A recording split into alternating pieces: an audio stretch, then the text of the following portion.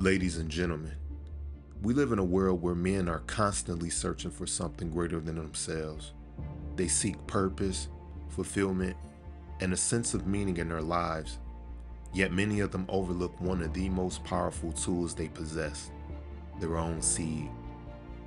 Semen retention is a practice that's been around for centuries, but it's only recently gained attention as a modern solution for men who are searching for a deeper connection with themselves and the world around them. By abstaining from releasing, men can harness the energy that would otherwise be lost and channel it towards achieving their goals, realizing their dreams, and becoming the best version of themselves. So I ask you, modern men, are you ready to take control of your life and unlock your full potential? Are you ready to tap into the power of semen retention and discover your true soul?